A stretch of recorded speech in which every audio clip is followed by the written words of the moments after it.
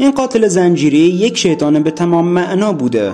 لوئیس آلفردو گراویتو کوبیلوس متولد 25 ژانویه 1957 که ظاهرا اسم خیلی طولانی هم داره یک قاتل زنجیره‌ای کودک آزار متجاوز جنسی و مردخواه بوده که اهل کلمبیا هم هستش. شاید ندونید ولی مردخواه به کسی میگن که به جسد مرده ها تجاوز می‌کنه.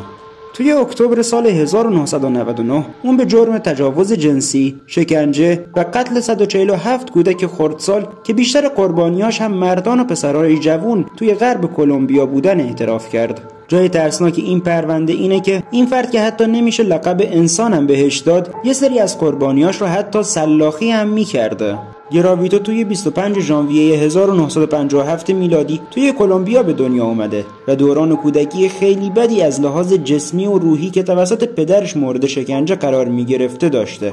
قربانیان اون بیشتر جزو کودکان فقیر بچه های کار و یا خیابونی بودن. سن اونا بین 8 تا 16 سال بوده. اون قربانیان خودش رو از توی کوچه و خیابون پیدا می‌کرد و با دادن یه هدیه کوچیک به اونا اعتمادشون رو جلب می‌کرد. ولی بالاخره توی سال 1999 میلادی بود که تعداد قربانیان اون خیلی زیاد شده بودن و چون بیشتر قتل ها توی یه محدوده خاص و به شکل مشابهی انجام می شدن پلیس بهش مشکوک شد و دستگیرش کرد. اگه از این ویدیو خوشتون اومد like و subscribe فراموش نشه و اون زنگوله بغلش هم فعال کنید تا از ویدیوهای بعدی من مطلع بشید.